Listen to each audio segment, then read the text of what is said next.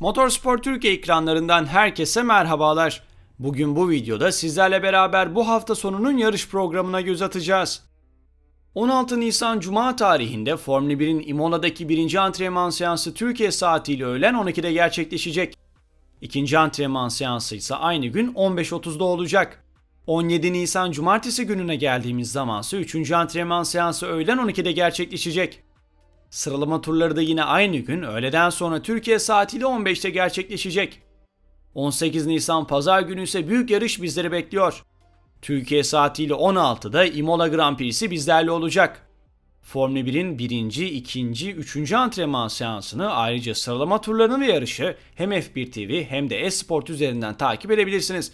Ancak minik bir hatırlatma yapalım. İlk iki antrenman seansı Türkiye'de sadece Esport Plus üzerinden servis edilecek. Herkese şimdiden keyifli seyirler.